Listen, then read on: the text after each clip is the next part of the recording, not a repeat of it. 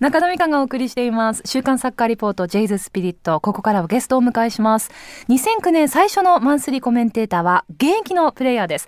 J リーグ柏レイソルフォワードの北島秀明さんです。明けましておめでとうございます。明けましてございます。えーよろしくお願いいたしますよろしくお願い。します。北島秀明選手、1978年5月23日生まれ、千葉県出身です。一律船橋高校時代は第73回と第75回全国高等学校サッカー選手権大会で優勝。第75回大会では6得点を奪い、得点王に輝きました。1997年柏レイソルに入団。2003年清水エスパルスへ移籍されますが、2006年 J2 に降格直後の古巣柏レイソルに電撃復帰。チームの精神的支柱として J1 昇格に貢献されました。今月はレイソルの顔、北島秀明さんにサッカーのことはもちろんなんですが、プライベートのことなど、いろいろとお話を伺ってまいります。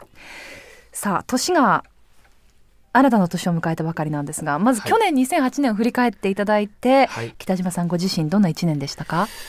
そうですね。まあ、僕個人としては、まあ、しっかりとした結果を残せなかった1年ではあったので、まあ、スタメンで試合に出れたのも1試合しかなかったし、まあ、そういう意味では、もっともっとやらなきゃいけないし、やり残したことがある1年かなと思います。うんあの膝の手術も昨シーズンはい。なさって、はいあのそういった面ではやっぱり常に怪我とやっぱり葛藤していかないといけない部分っていうのもあったんですか、そうですね。あの、ちょうど指導日の初日に、うんなんか膝に違和感を感じて、はいで、病院行ったら、まあ、手術が必要だって話になって、うんまあ、出遅れてしまったんですよね、一年通じて。はいまあ、で、この怪我自体はやっぱこう、まあ、ずっと繰り返すっていうか、いつも付き合っていかなきゃいけない怪我なので、悩みでもあるんですけど、まあ、うまく付き合ってやっていかなきゃいけないなと思ってますけどうね。んはい。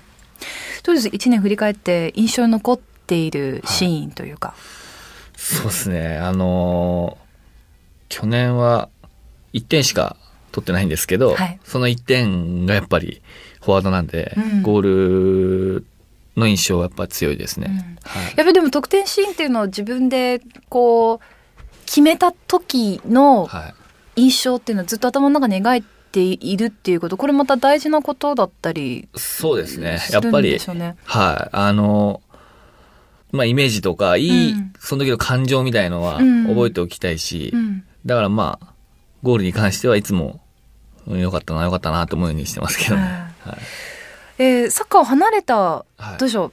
プライベートの面でのは2008年っていうのは、うわー、うんまあ、家庭があって子供もいるので、はい。まあそっちでもう精一杯ですね。でもにねお子さんはもう本当に大人の1年とはるかに違う1年をはい。過ごしてて、ものすごい勢いで成長しますでしょ？早いですね。すべての成長が早いので、えすごいこっちもいろんなこと勉強させられなえがら、うん。こう、過ごしてますね。あーでもそうやってやっぱりプライベートの充実っていうか子供がいて、温かい家族がいてっていうのがまたいいバランスにそうですなるんねで。しょうね。まあ誰かのためにっていう部分で、うんやっぱ家族のためにっていう思いが強く自然となるので、はいそういう意味でも子供だったり家族の絵のために頑張るっていう思いがすごい今強くてうんいいバランスだと思いますね。ねあのブログをすごく楽しく拝見させていただいておりまして、ありがとうございます。えーどうやらかなりあの忘れ物が激しいという。はい、激しいですね。去年1年振り返ってどんぐらいどんなものを？いやーもう両手じゃ収まんないほど、まあちっちゃいものをええ。やっていけば、はもう、まあブログとかにも書かせてもらったような、はい、チームでの忘れ物も多いし、ええ切符を電車の中に忘れるとかはもうしょっちゅうなんですよ。改札に入ったはいいけど出る時にない、はないみたいなのはもうしょっちゅうだし、しょっちゅうですか？はい。あとはやっぱ一番多いのは、はい約束忘れることですね。それは人との待ち合わせとか？はい。忘れちゃうんですよね。それもう携帯かかってきたりするわけですよねで、あ、そうだみたいな。感じになっちゃうんで。待ってるよみたいなはい。いであ行くよみたいな。ちょっと遅れてるよみたいな感じの 態度でごまかすんですけど、はい。やばいみたいな。完全にもうスルーですか？もう忘れちゃうんです。忘れちゃうんですよね。はだから最近ちょっと、ええ携帯動画にうん入れるようにしてます。そういう人との約束はさすがにまずいんで、はい。それまではじゃあもう手帳とかも基本的に持たない。持たないですあね。で何も書かずにはい頭の中で覚えてると、はいそれ何なんですか？なんかすごくこう面白いことが目の前にパッと起きたりすると忘れてしまうとかそういうことでもない。どうなんですかねなんかもう、その時その時、ええ行き当たりばったりなんですよね、全部が。だから、先のことがあんま好きじゃないっていうのもあるんですけどね。はい。人生もフォワードなタイプなんですね。ゴールって向かうと他のことはちょっと注意力散漫になってしまう。そうなっちゃうんですよね。ゴールマウスのみ見えてるみたいあなー。そういうふうにね、うまく逃げていただけるとありがたいですね。さあ、えー、柏レイソル2008年シーズン、これを振り返ってみますと、リーグ戦では11位で終了。はい。えー、いかがですか？レイソルの顔としてチームのこの1年を振り返っていただくと。そうですね。まあ、顔かどうかは分かんないですけど、えまあ、あの、11位っていう成績が、はい。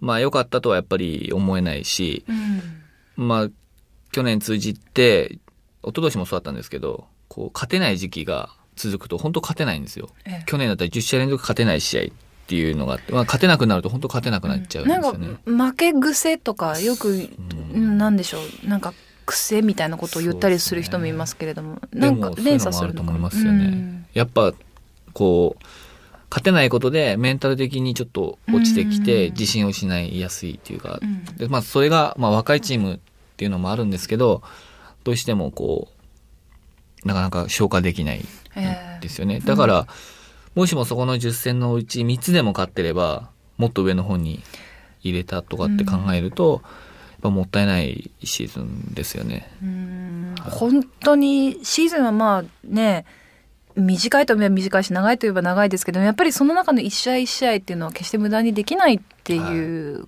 ことなんでしょうね、そういう意味では。ね。本当に積み重ねですね。うん終わってみると、やっぱあの試合とあの試合とあの試合とあの試合もったいなかったなみたいのは、やっぱ考えるんで、そうならないようにうん、最初からやっぱどの試合も同じように準備しなきゃいけない。まあ準備はしてるんですけどね。うんはい。チームのこう雰囲気っていうのははい。どうなんですか、あの長年チームを見てこられて、はい。はい。昨シーズン何か違った部分とかっていうのはありました？うーん、あのーまあ、2006年からレースでプレーしてるんですけど、その2006年から入ってずっと、まあ、そのレースの強みっていうか、うん。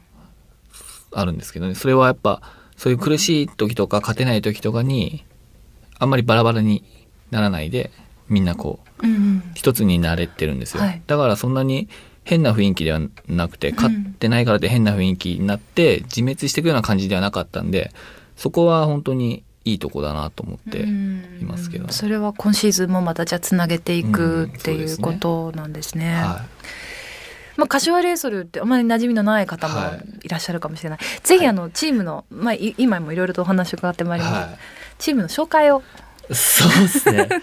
えーてかアピールを。えー、そうですね。カシャレイソルって言う、言います。はい。あの、黄色いユニフォームです。はい。で えーまあ、あの、はい本当に、あの、サポーターがものすごく熱いクラブチームで、で、ホームスタジアムにしている日立大のサッカー場が多分日本でも一番選手と観客の距離がすごく近い、あの日本で一番近いんじゃないかと思うよううんな、すごいいいスタジアムなんですよ。なんで、あの、もし、千葉とか柏に遊びに来る機会があったら、ぜひ、日立大、柏の日立大に遊びに来てもらえれば、もう虜になるとはい。いう宣伝です。間違いないと。はい。はい。はい。